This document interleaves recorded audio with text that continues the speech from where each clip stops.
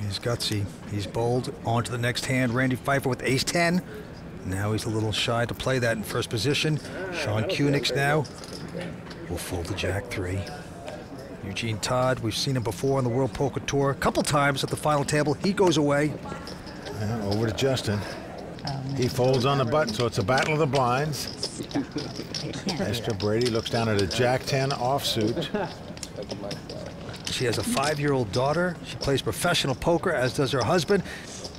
And readily admits, Vince, that No Limit Hold'em is her least favorite game. Okay. But she's raising it here to 250000 out of the small blind with the Jack 10. Yeah, trying to push out the guy from Philly who has just a 9-3. It should be pretty easy to push him out with this hand, I would think. It's about as junk hand as you can get.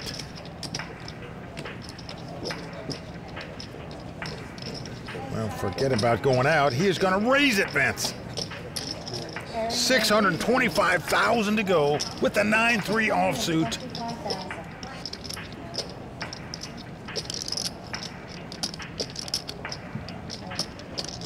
Got a good read on the woman to his right.